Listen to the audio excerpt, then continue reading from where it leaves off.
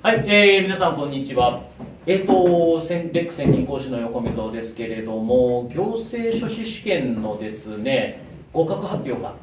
まあ、1月26日にありまして、はい、で、まあ、行政書士試験を合格した後ですね、やはり次になんか別の資格を受けたいなと思っている方も結構いらっしゃるということなんです。で、今回はその中でも特にえー、数が多いかなという印象を持っているのが司法書士試験ということになるので実はあの司法書士講座のですね担当の森山先生の方に、はい、えー、来ていただきましてう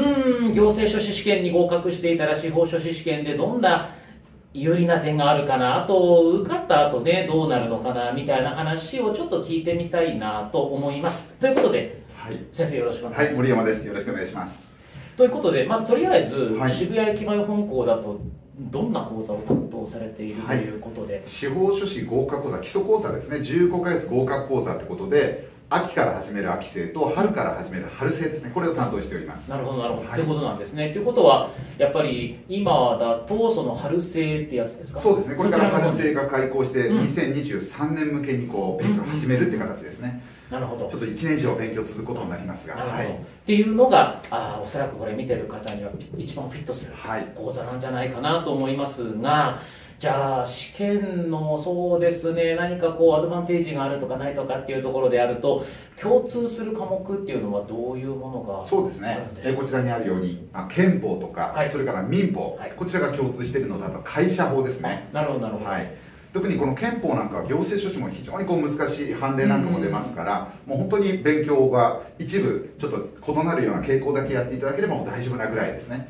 で民法なんかもそれ以上の判例が必要になったりしますけれども、うん、基礎がねがっちりできてますし最近行政書士試験も難しいこと聞きますからね。もうその辺りもだいぶ有利に働くかなと思います。なんか民法だと出題はどうなんですか？相続物件債権家族法の中でこう比重が重い軽いとかってなんか断然物件ですね。物件がでかい。物件担保物件がもう債権の2倍3倍出ますから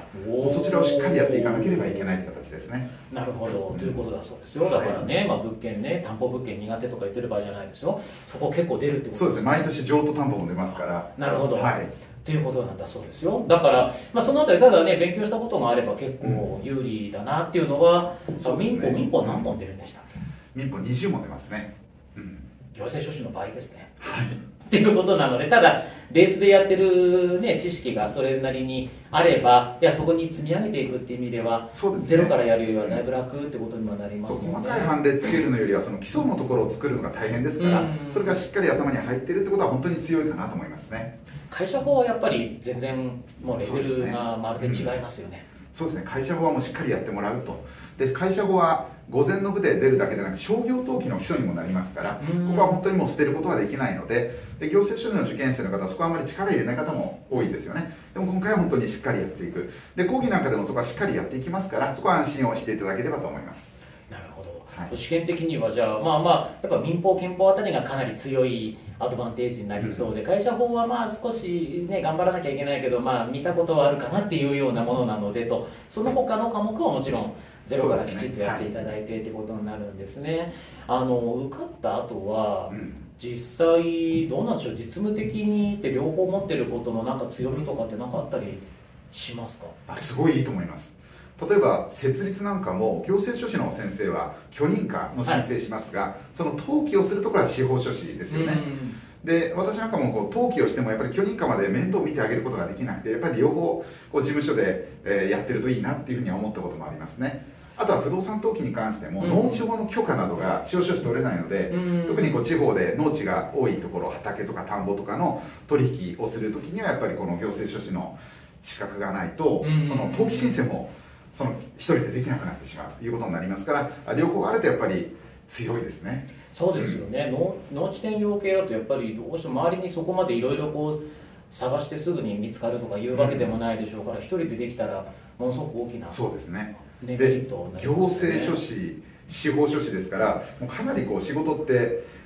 こう別のものですから、結構やっぱり補充関係強いですよね。うん、なるほど。ということなんですね。あのまあ、実際行政書士試験合格して司法書士をチャレンジして合格する人あのどんな心構えで臨んだらこう受かるということになるのかっていうのはどうでしょう？そうですねまあ、あの今までの知識をしっかり生かしてもらうのが一つとあとは新しい勉強がたくさんありますからもう一度ゼロから学ぶんだというつもりで、うん、講義の方にこう参加していただけるといいかなと思います。なるほど、はい。まあ、あとはね行政書士試験で合格したその体験もありますからね。そうです。そういうものも生かしながら勉強をまた続けてもらえるとい。うことなんでしょうね、はい、成功体験ってやっぱり強いですよね、うん、ゴールまでのこう距離が分かってますから、うん、このぐらい頑張ればこれぐらいいけるんだなっていうのが司法書士でも通用するかなと思いますなるほど、はい、ということで、まあ、あのぜひじゃあ最後にですね、えー、これから森山先生のクラスで行政書士を合格して司法書士を受けたいなと、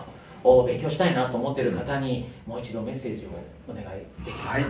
で行政書士の勉強してその後司法書士勉強する方ぜひ一緒に頑張っていきましょう。で渋谷で生講義でやりますがあとは通信講座もありますから全国で、え勉強されてる方横溝クラスで勉強した方ぜひまた一緒に勉強していきましょうはいじゃあぜひね頑張っていただければと思います。じゃあ今日はありがとうございました、ありがとうございました。